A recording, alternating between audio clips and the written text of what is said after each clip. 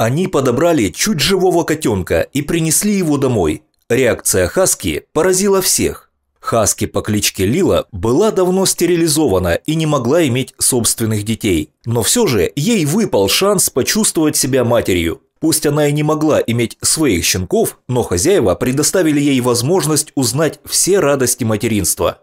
Хозяева подобрали маленькую кошечку Рози, которая недавно только появилась на свет. Они принесли малышку домой, но она была очень слабой и вялой. Но ей очень заинтересовалась Хаски Лила. В собаке проснулся дремавший материнский инстинкт, и она приняла Рози как родную.